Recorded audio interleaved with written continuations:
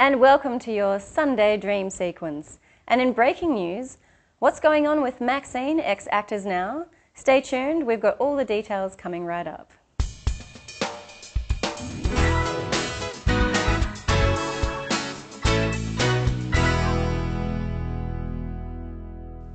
Chloe is a triple threat and has been performing since she was five. She's mum to three little doggies and thinks she's Buffy the Vampire Slayer. And she can't ride a bike. Can you write 15 pages of outstanding script? Of course you can. Well, if you can't, that's beside the point anyway. The Writers Store wants to see it for their script writing competition. Prizes include mentorship and feedback to take your full script to the next level. Details are in the links below. Have all you Perth professional actors saved up your hard earned cash? Excellent, because there's another acting coach, The Stars, coming to town, determined to keep your acting game strong. Elizabeth Kemp arrives soon. Just Google her, people. I caught up with Craig Williams, the muso from the play The Boat Goes Over the Mountain, starring Andrew Hale. It's showing this week at the Subiaco Arts Centre. Hi guys, I'm here with Craig Williams, the musician from the new play The Boat Goes Over the Mountain that's going to be premiering at the Independent Theatre Festival here in Subiaco. Thank you so much for coming on the show, Craig. Thank you, no problem. Fantastic. So tell us a bit about The Boat Goes Over the Mountain. It's, it's a true story. It's mm. Andrew actually lived the story. He's telling his own true story. He's not just an actor performing the part.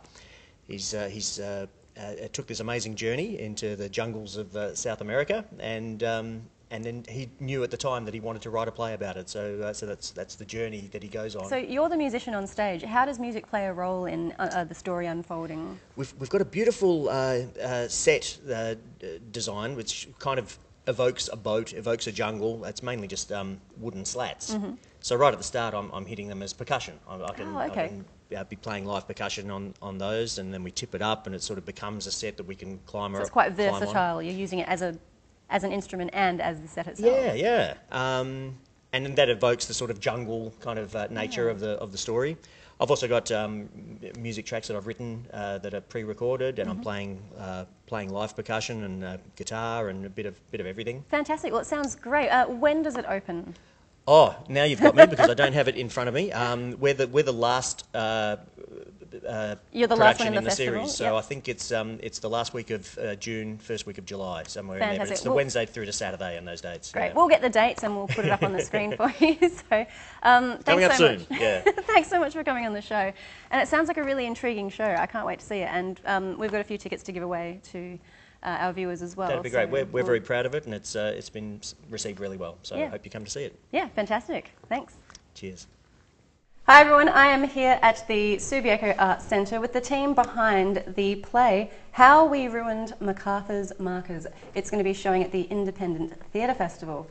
Hey guys, thanks for coming along. Good morning. Yeah, no worries. Um, so, so tell us about the show. The show is about family. It's a family show and it, it raises ideas of uh, the importance of family, different kinds of family relationships, uh, you know, are they important? Are they worth preserving? Can new ones be forged? The main plot of the story is all about these two brothers who have never met mm. um, and who end up working together. But it's a comedy. of course, I'm laughing already. we are. Nothing funnier than families falling apart. Yeah, I mean, I wouldn't, I wouldn't say it was a dark comedy. Yeah, it really is just straight up, like, kind of oh, okay. ridiculous. Very light, very light. Um, yeah. But uh, there, there are definitely sort of moments in there that'll make people kind of like pause and think again yeah. about. Um, yeah. And of course, it's, it's, all highlighted nicely with uh, with music as well. Yeah. Um, I, I, think that the tone is certainly driven home by by the score and the musical direction. So, so talking about the music, what kind of style is it? Uh, it's it's a jazzy sort of um, musical theatre cross, I guess. Wow. Um, yeah. um, yeah, I've, it's it's got quite a small band, and it's just like a like a little jazz combo. When when is the show uh, playing here at the Subiaco Theatre? Yeah, so uh, it's in the studio here at the Subiaco Arts Centre from the 24th to the 27th of June. Uh, tickets are available through Ticketek, like the rest of the independent theatre festival shows. Excellent, and you can actually get um, a pack of three tickets that you can use for any show. So Yes. take advantage. Thank you, Perth Theatre Trust. No, look, it sounds really awesome, guys, and thanks so much for coming on this show. I can't wait to actually see. yeah. Thanks very we- much for having us. We can't wait to show it to everyone. Yeah, yeah, yeah. Get some. Awesome. So we'll, we'll um, put a link up and get some people buying some tickets. Great. Thank you very much. Please buy tickets. Yeah. Cool. Thanks, guys. Thank, Thank you very much.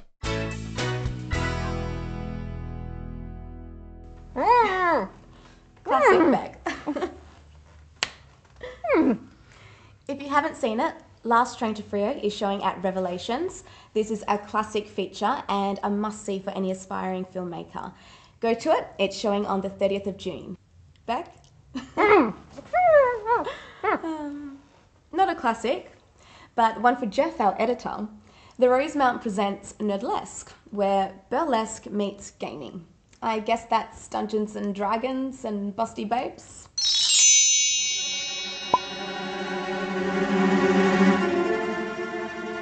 Ew.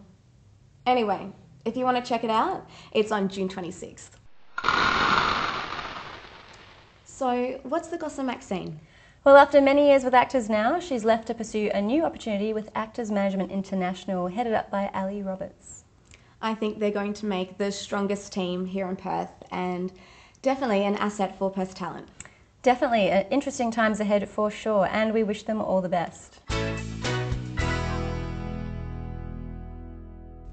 Well, that's it from me. Don't forget to subscribe to our YouTube channel, follow us on Facebook and Twitter, and throw a few coins towards our Indiegogo campaign. See you next week.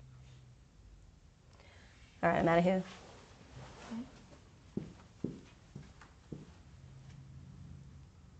And if you want to check out Bec's interview techniques or how I got this gig, keep watching after the credits. And please don't forget to donate to our crowdfunding campaign. Good night.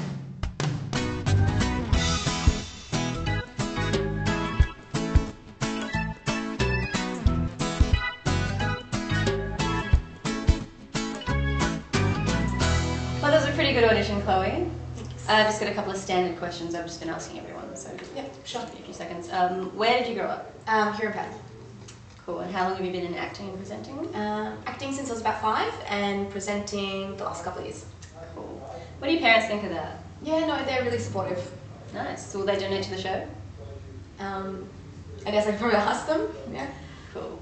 Boxers, briefs, or bikinis? Um, none of them? Hmm. It's not really my thing. I don't know. And is that your real hair? Yeah, this is my real hair. Oh, fancy. Chloe, have you ever killed a man? no, I haven't killed anyone. Would you? Um, Not right now. Just oh, well, if you meant like saving the world. put, put you down as a maybe. Okay. What's your favourite colour and why is it purple? Um, yeah, purple. Purple's good. You like purple? Not what I would have said, but uh, yeah. How much popcorn have you eaten today? Um, a lot. All right, good answer. Okay. You're a bit of a weird one, but welcome aboard. Cool. Thanks.